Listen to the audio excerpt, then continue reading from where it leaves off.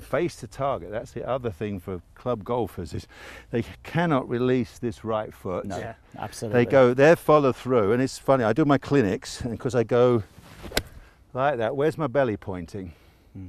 Look, there's the ball, There's the crunch ball. in the trees.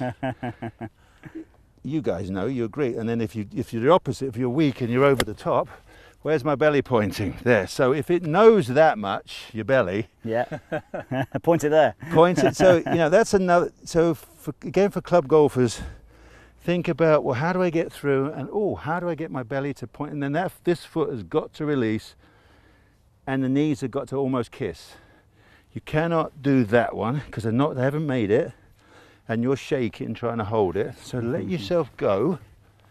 So that's really important. So you can start with a really short backswing. You know, this is a great exercise. Short backswing, but face the target. Look, there's a golf shot.